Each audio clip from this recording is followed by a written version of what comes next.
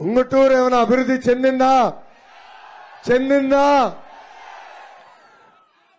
ప్రజల జీవితాల్లో ఏమైనా మార్పు వచ్చిందా? వచ్చిందా? వాసుబాబు గారు మాటలు చాలా తీయగా ఉంటాయండి.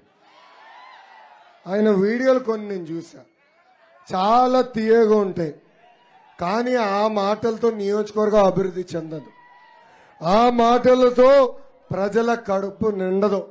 ఆ మాటలతో ప్రజల కష్టాలు తీరదు. ఆయన ఇచ్చిన ఒక్క హామీ అన్న నిలబెట్టుకున్నాడని ఈ సభాముఖంగా ఉంగటూరు ప్రజలందరినీ ఆలోచించమంటున్నా. నాలుగు మండలాలకి నలుగురు బినామీలు పెట్టి పెద్ద ఎత్తున ప్రజల్ని వేధిస్తున్నారు. చెరువులు తాడిపూడి కాలువ పోలవరం కుడి కాలువ నుంచి పెద్ద ఎత్తున మట్టి దోచేస్తున్నారు.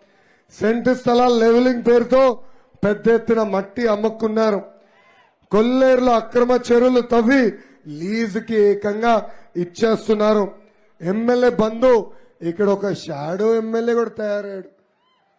ఆయన పేరు ఏంటో నాకన్నా మీకే బాగా తెలుసు. ఆఖరికి అధికార ట్రాన్స్ఫర్లు కానివ్వండి అధికారులు ఏ పేపర్ మీద సంతకం పెట్టాలన్నా ఈ షాడో ఎమ్మెల్యేకి కప్పం కడితేనే ఆ పనులు జరిగే పరిస్థితి.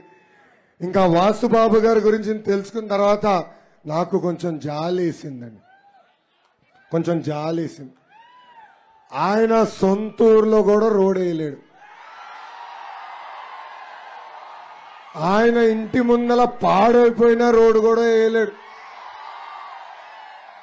నాకు ఎవరో చెప్పారు పాపం ఆయన అనుకుంటున్నాడంట. అరే ఈసారి గన్ని గారు కనీసం ఎమ్మెల్యే ఉంటే నా ఇంటి ముందల రోడ్డు పడే పరిస్థితి ఉండేది కదరా.